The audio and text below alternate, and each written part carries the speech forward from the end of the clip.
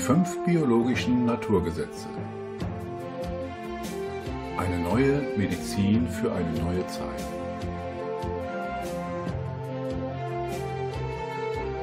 Ursache und Verlauf von Krankheiten. Durch Verstehen zur Selbstverantwortung.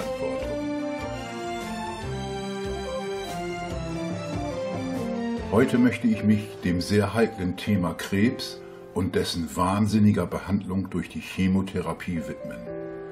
Um es vorwegzunehmen, wer die fünf biologischen Naturgesetze verstanden hat, braucht keine Angst vor Krebs zu haben und wird sich niemals einer Chemotherapie unterziehen.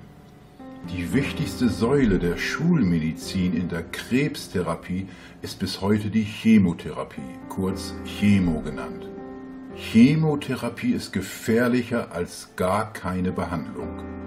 Dieses sagte der sehr mutige ehemalige Professor für medizinische Physik und Physiologie Dr. Hardin B. Jones von der Berkeley University in Kalifornien der die Lebensdauer von Krebspatienten über 25 Jahre statistisch erfasste. Er sagte weiter, Zitat, Chemotherapie bringt nicht nur nichts gegen Krebs, sondern verkürzt sogar die Lebensdauer der Patienten im Vergleich zu jenen, die sich überhaupt nicht behandeln lassen. Zitat Ende. Er kommt zu dem Schluss, dass die Chemotherapie nicht nur überflüssig ist, sondern die mit Gift behandelten Patienten oftmals einen früheren und grausameren Tod sterben, als es durch den Krebs ohne Behandlung der Fall wäre.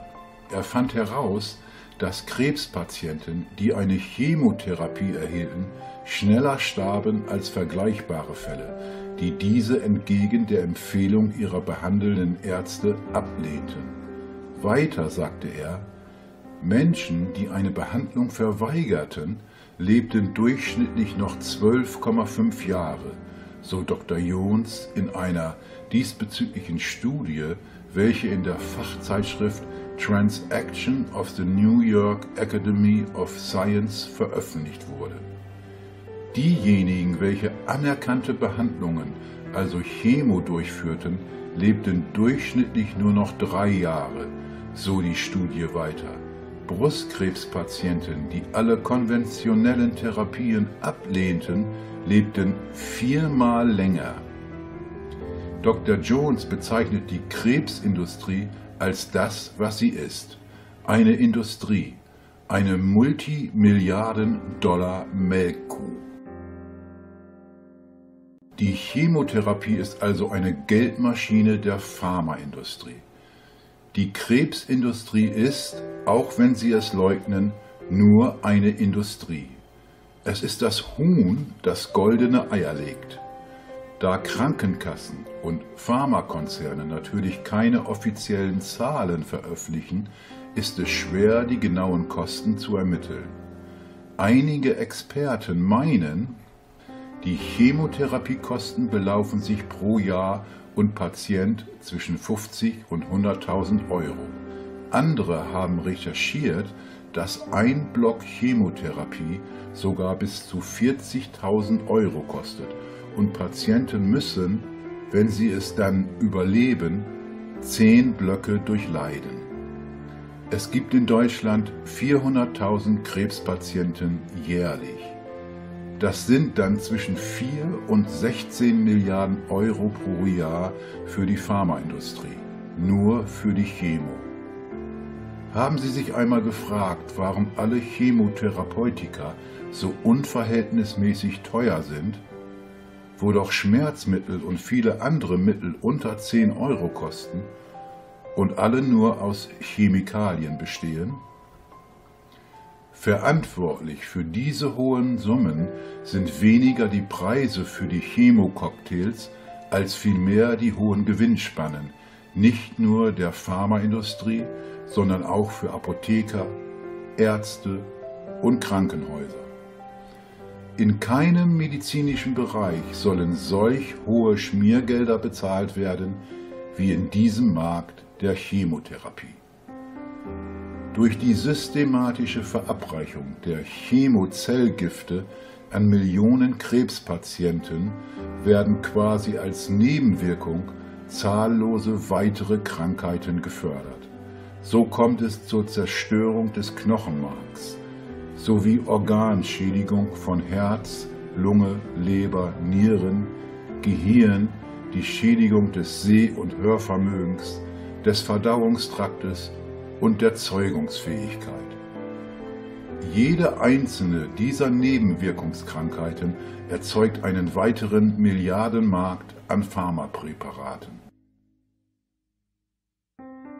Die wichtigste Nebenwirkung des Einsatzes von Chemo bei Krebspatienten ist die Entstehung von neuem Krebs. Damit entsteht ein fantastisches Geschäftsmodell, die Pharma-Krebsspirale. Einerseits die Gewinne aus der Chemo und dann zusätzliche Gewinne durch die Nebenwirkungen. Die gesamte Krankheitsindustrie inklusive der Krebsspirale ist das Ergebnis eines Geschäftsmodells, das davon profitiert, dass Krankheiten sich ausbreiten, nicht wenn sie verhindert oder ausgemerzt werden. Glauben Sie wirklich, dass all diejenigen, die so gut an dieser Krebsspirale verdienen, wirklich etwas daran ändern wollen? Schauen wir uns einmal einige ungeschriebene Gesetze der Pharmaindustrie an. Erstens, sie ist eine Investmentbranche, deren Haupttriebfeder die Gewinne von Aktionären ist, nicht jedoch die Verhinderung und Beseitigung von Krankheiten. Zweitens, der Marktplatz für die Pharmaindustrie ist der menschliche Körper, solange er krank ist. Drittens, Fortbestand und Ausbreitung von Krankheiten sind für das Wachstum unerlässlich. Viertens. Vorbeugung, Vermeidung von Krankheiten, Ursachenbehandlung und vor allem die Ausmerzung von Krankheiten bedroht die Existenzgrundlage dieses Investmentgeschäfts. Durch dieses menschenverachtende Geschäftsmodell ist das Pharmageschäft zur größten und profitabelsten Investmentindustrie auf unserem Planeten geworden. Die Folgen dieses Milliardengeschäfts mit der Krebskrankheit durch die Pharmaindustrie sind verheerend. Massensterben an vermeidbaren Krankheiten. Es sterben jährlich über sieben Millionen Menschen an Krebs. Das entspricht der Einwohnerzahl der Schweiz. Die Tendenz ist steigend, denn im Jahr 2030 soll Berechnungen der Weltgesundheitsorganisation WHO zufolge die Zahl der jährlichen Krebstoten auf 11,8 Millionen ansteigen. Das bedeutet den ökonomischen Ruin ganzer Volkswirtschaften. Im Jahr 2008 lagen die weltweiten Kosten für die Krebskrankheit durch vorzeitigen Tod und Arbeitsunfähigkeit bei 895 Milliarden US-Dollar. Und diese Zahl umfasste noch nicht die direkten medizinischen Kosten für diese Krankheit. Diese gewaltige Summe entspricht dem Bruttosozialprodukt von mehr als der Hälfte der ärmeren Staaten dieser Erde. Schon heute gehören die Kosten der Krebsepidemie zu den größten Belastungen für die Staaten dieser Erde. Die Finanzierung des Pharma-Investmentgeschäfts mit der Krebskrankheit ruiniert ganze Volkswirtschaften und ist eine der Hauptursachen für die gegenwärtige Wirtschaftskrise. Auch in Deutschland steigen die Ausgaben für die Krankheitsindustrie seit dem Kriegsende 1945 jährlich. So betrug der Umsatz zum Beispiel schon im Jahr 2002 rund 320 Milliarden Euro. Das waren ca. 12,5 Prozent des deutschen Bruttosozialproduktes. Einzig aus diesem Grund haben sich die Ausgaben für das Gesundheitswesen, ich sollte besser sagen Krankheitswesen, in Deutschland seit den 50er Jahren mehr als verhundertfacht.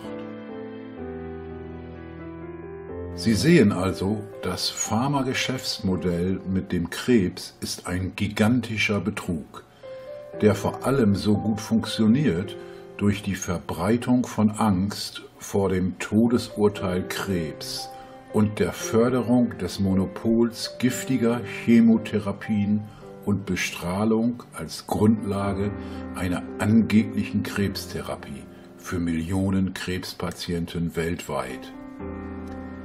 Sie werden vielleicht sagen, das glaube ich nicht, das ist unmöglich. So menschenverachtend kann doch kein Mensch oder Unternehmen denken. Die werden doch nicht aus Profitgier das Leben von Millionen Menschen riskieren. Um diese Frage zu beantworten, müssen wir einen Blick zurück in die Geschichte machen. Wir haben gehört, dass die wichtigste Säule der Krebstherapie bis heute die Chemococktails sind. Um zu wissen, wie diese entstanden sind, müssen wir einen Blick zurück in die Geschichte machen. Wir befinden uns mitten im Ersten Weltkrieg. Die Chemiefirma Bayer, eine der späteren IG Farben-Firmen, produziert den ersten groß angelegten chemischen Kampfstoff, Senfgas. Senfgas heißt es auch, weil dieser Stoff etwas nach Senf oder Knoblauch riecht. Er wird auch als Lost, genauer Schwefellost oder Estlost bezeichnet. Lost wird es genannt nach den Abkürzungen der Nachnamen der beiden sogenannten Wissenschaftler W. Lommel und W. Steinkopf die diese tödliche chemische Substanz entwickelt hatten. Am 12. Juli 1917 benutzte die deutsche Armee diese neue, grauenvolle Waffe zum ersten Mal in der Nähe der belgischen Stadt Ypern. Deshalb wird es auch als Yperit bezeichnet. Ein anderer Name für diese tödliche Substanz ist Gelbkreuz. Durch Zersetzung der Haut und der Lunge hatte dieser Einsatz einen gewaltigen tödlichen Effekt. Schauen wir uns einmal die chemische Struktur eines Moleküls von Senfgas, also S-Lost, näher an. Es ist eine Chlor-Schwefel-Verbindung.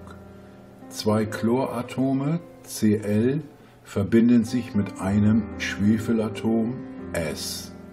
Später wurde dann das Schwefelatom des Senfgasmoleküls durch ein Stickstoff N-Atom ersetzt. Diese können wir N-Senf oder N-Lost nennen. Dieses wurde die erste Grundstruktur für die Krebschemotherapie. Eine Vielzahl von chemischen Modifikationen, gekennzeichnet als R wie Rest, dieser N-Senf-Struktur wurde zur Triebfeder des Multimilliarden-Euro-Krebsgeschäfts, alle durch Patente geschützt. Und darum geht es den Konzernen in erster Linie. Patente, Patente, Patente. Heute werden diese Substanzen Zytostatika genannt, jedoch nicht weniger giftig und zerstörerisch als das Ausgangsprodukt Senfgas was die Zytostatika, die Onkologen nennen diese auch gerne Zellteilungshemmer, heute sind und wie giftig diese sind, wollen wir einmal genauer betrachten. Es gibt sie in flüssiger oder pulverförmiger Substanz.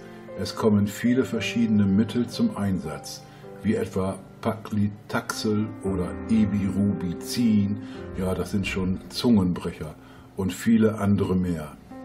Die pulverförmigen werden erst in Lösungsmittel aufgelöst und dann wie die flüssigen mit einer Spritze aus der Ampulle gezogen. Danach wird das Gift in die Trägerinfusion gespritzt. Das sind dann die Infusionsflaschen, die sogenannten Tropfer, wie Sie sie aus dem Krankenhaus kennen. Sie sehen hier bereits, welche Schutzmaßnahmen die Personen einzuhalten haben, die diese giftigen sogenannten Arzneimittel herstellen. Der Patient bekommt die Infusion anschließend angehängt und es dauert bis zu vier Stunden, bis der Chemococktail durch ist. Die Onkologen behaupten, diese Chemococktails sollen die sich rasch vermehrenden Krebszellen, also Tumore, vernichten. Diese hochgiftigen Substanzen können jedoch nicht zwischen Krebszellen und anderen sich schnell teilenden gesunden Körperzellen, wie zum Beispiel einer Blutzelle, unterscheiden. Dazu gehören neben den Blutzellen auch Rückenmarkzellen, Schleimhautzellen und Haarzellen. Deshalb werden natürlich auch diese Zellen teilweise mit vernichtet. Diesem Grund kommt es während der sogenannten Therapie bei den Patienten zu den grausamen Nebenwirkungen. So kommt es zur Herzmuskelschwäche mit Müdigkeit und Erschöpfung, Störungen des Verdauungsapparates mit Durchfall, Verstopfung, Übelkeit und Erbrechen, Beeinträchtigung der Fruchtbarkeit durch Schädigung der Eierstöcke und der Hoden, zur Zerstörung des Knochenmarks und zu Entzündungen und Verätzungen der Schleimhäute. Und natürlich zudem uns allen bekannten massiven Haarausfall. Dieses waren nur einige Nebenwirkungen, unter denen die Menschen zu leiden haben. Sie haben gesehen, dass diese Infusionen hochgiftig sind. Daher ist es natürlich nicht verwunderlich, dass nur speziell dafür geschultes Personal diese Giftsubstanzen herstellen darf. Außerdem müssen diese Menschen eine gesetzlich vorgeschriebene arbeitsmedizinische Vorsorgeuntersuchung über sich ergehen lassen. Dieses ist die sogenannte G40 Vorsorgeuntersuchung. Sie sagt aus, krebserzeugende und Erbgut verändernde Gefahrenstoffe allgemein. Hier wird also klar und deutlich festgelegt, dass diese sogenannten Medikamente krebserregend sind und dem Gesetzgeber dieses auch bekannt ist. Deshalb gibt es auch knallharte Vorschriften und Sicherheitsvorkehrungen beim Herstellen und Umgang mit diesen hochgiftigen Substanzen. Hergestellt werden diese Substanzen nur an ganz bestimmten Arbeitsplätzen mit Ablufttfilter den sogenannten Sicherheitsbänken. Die Person muss bestimmte Kittel, Mundschutz und besondere extrem dicke Handschuhe tragen. Diese speziellen Handschuhe müssen nach spätestens 30 Minuten gewechselt werden, um ein Durchdringen der Giftsubstanzen zu verhindern. Die so hergestellten Giftsubstanzen müssen in bauartgeprüften, stich- und bruchsicheren, dicht verschließbaren Behältern transportiert werden. Der Behälter muss vor dem Weg zur Arztpraxis außen gereinigt und mit speziellen Warnhinweisen versehen sein. Wenn es zu Unfällen bei der Herstellung kommt, zum Beispiel wenn das Gift aus einer zerbrochenen Ampulle entwichen ist, muss ein Protokoll geschrieben werden. Es sind dann Blut- und Urinproben vorgeschrieben, um zu prüfen, ob die Substanz darin nachgewiesen werden kann, falls ein direkter Körperkontakt bestand. Für den räumlichen Bereich zur Absicherung der Gefahrenzone gibt es Warnschilder zum Aufstellen. Achtung, Zytostatika-Unfall, nicht betreten. Es gibt ebenfalls Vorschriften zum Entsorgen dieser hochgiftigen Substanzen. Dort wird dann von Entsorgungsvorschriften für kontaminiertes Material gesprochen. Der Müll, der bei der Herstellung anfällt, in Form von Spritzen, Infusionsflaschen und Bestecken, muss in speziellen, ebenfalls gekennzeichneten Tonnen entsorgt werden. Dieser Müll, also die Tonnen, werden dann durch eine spezielle Entsorgungsfirma abgeholt und in Sondermüllverbrennungsanlagen verbrannt. Nur zur Erinnerung, diese giftigen Substanzen wurden vorher kranken Menschen verabreicht und die Rückstände sind so hochgiftig, dass alle Menschen, die damit in Kontakt kommen, sich schützen müssen, wie in einem Kernkraftwerk oder einem Hochsicherheitslabor.